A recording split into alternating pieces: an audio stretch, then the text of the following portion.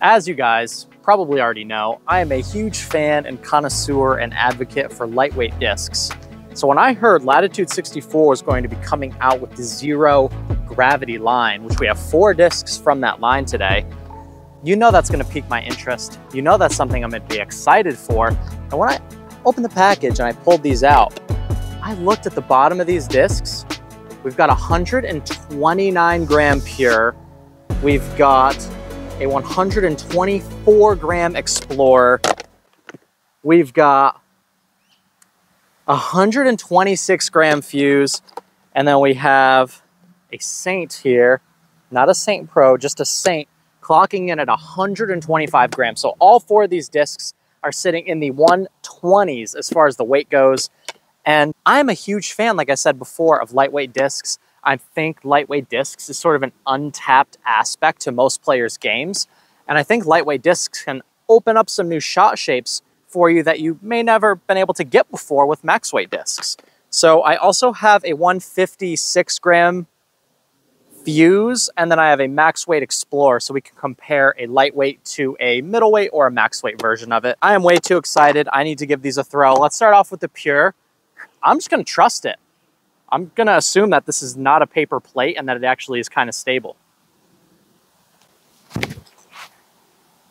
I did not give that any height, but it also did not want to turn over literally at all. We've got the fuse here, 126. Let's put this up in the air.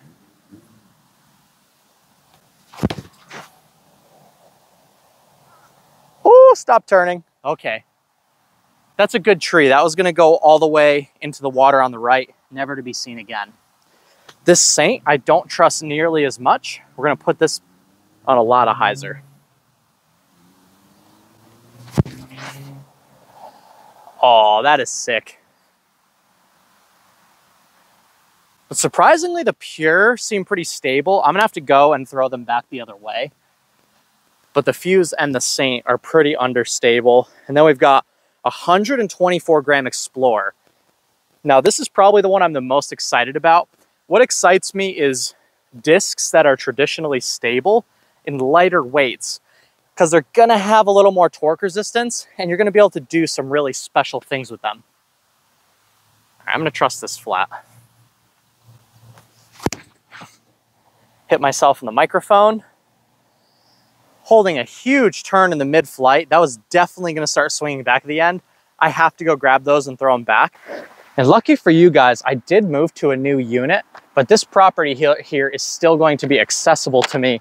So you can expect most disc reviews to still be out on this little private golf course area, which I'm actually really happy about us, you know, moving. I was concerned that I wasn't gonna have a really awesome place to film, but I'm actually in a location that allows me to still use this and it's very close and convenient for me. So hit the like button, leave a comment, let me know you guys are excited that I'll still be out on this golf course here. All right, I need to trust this pure. I'm gonna go power grip nice and high.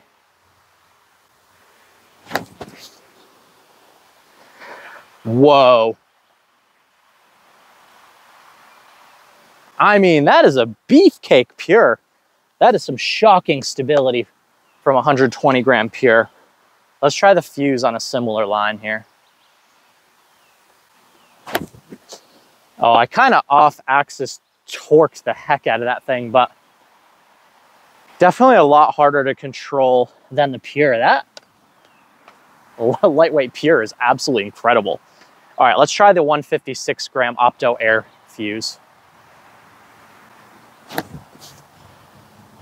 I mean, that's honestly borderline a beefcake fuse. I threw that pretty hard with a power grip. Did not want to turn really at all. And then the Saint is probably the only one of the bunch that is like true paper plate status. Oh, that thing is sick for turnovers though. For any new players, um, any junior players, anyone with a really slow arm, you're absolutely going to love that lightweight zero gravity Saint. All right, Explorer. Let's trust this thing flat with a bit of height. Oh, okay. Great hyzer flip disc, definitely more torque resistant than I expected it would be, but I definitely think I need a hyzer flip that one. And now we got the max weight fancy plastic Grand Slam Explorer. That thing might need to go in my bag. That Explorer's sick and it absolutely bombs. All right, I'm, I'm having way too much fun. We need to grab those. We need to throw them at least one more time. All right, so I guess I should give you guys a couple of updates. I did, in fact, move to a new unit, so I haven't filmed or uploaded in, I think, a week now. I uploaded one or two YouTube shorts that were just kind of ready to go on my phone. But ever since that last forehand tutorial I put out, which you guys have shown some really good support for, which I really appreciate, um, I haven't really uploaded in like a week, so I'm super pumped to be back at it, throwing again. I'm still have access to this nice private golf course to film on things are looking pretty cruisy for the future of Iceberg TV. So I'm super pumped to, you know, get back at it. I feel refreshed and excited after a nice one week break, which I haven't actually taken in a long time. All right, I'm gonna give you guys a quick breakdown of each disc and give everything one last throw, and then we'll wrap up the video for today just to talk about this zero gravity plastic. It feels like that really, really awesome old school DX plastic. So if you play disc golf in the early to mid 2000s, any pre-flight number Innova DX disc, it wasn't like crappy DX like what we get nowadays. It was like this stiff, durable, and grippy DX plastic. And I've thrown sp specifically the DX Panther came in this like really grippy DX plastic. To me, that's what these feel like. They're nice and grippy. They feel durable. They're not quite a full-on premium blend, they definitely have like a baseline feel to them, but it's like a durable and grippy baseline feel. So that's the plastic. This Pure is probably the most surprising disc of them all. Again, power grip, full power, just flat with height.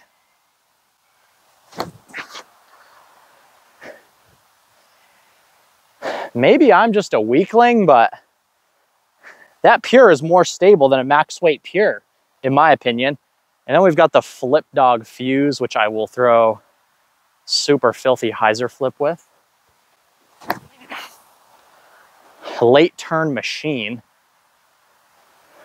Still, still finished way right. That thing's pretty flippy, I'll be totally honest. Then we've got this Opto air fuse, which is then surprisingly beefy.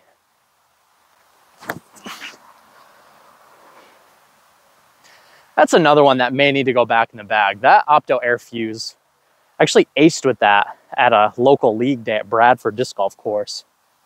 I don't know why I took it out of my bag. I actually really like that disc. Then we've got the Zero Gravity Explorer. Perfect for hyzer flips.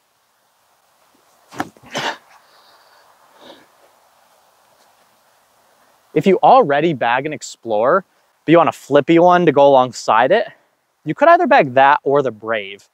That lightweight Explorer, the Zero Gravity Explorer, to me flies very similar to the new Royal Brave.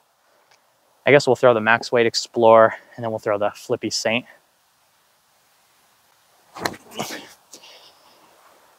I love that max weight Explorer. That thing's sick. I think it's Opto Glimmer. And then we got Flip Dog Saint. This thing needs so much height and so much hyzer. That's, I mean, you can shape some absolutely filthy, disgusting lines with that thing. But anyway, guys, I'm happy to be back. Zero gravity line from Latitude 64. Absolute fire. I am totally gonna mess with that pure. I'm gonna put it in my bag and see how it beats up and performs over time. But I'm super excited to see some 120 gram, potentially some 130 grams, um, becoming a little more mainstream, coming onto the market. I think it's gonna expand people's shot shaping ability and increase your skill ceiling if you can have like one or two kind of cheeky, super lightweight discs in your bag, whether you help them or whether they help you throw farther, whether you can throw a new shot shape with them. I definitely think it's something worth checking out and adding to your bag. I personally really like the Pure, the Fuse, and the Explorer. The Saint is a little bit too flippy for me, but if you have a super slow arm, you're new to disc golf, or you want a disc that is like a guaranteed hyzer flip, then that Saint could be a really great option for you as well. Shout out to Power Grip USA for sponsoring today's video. You guys are watching Iceberg TV. Thank you so much for watching my channel and take care.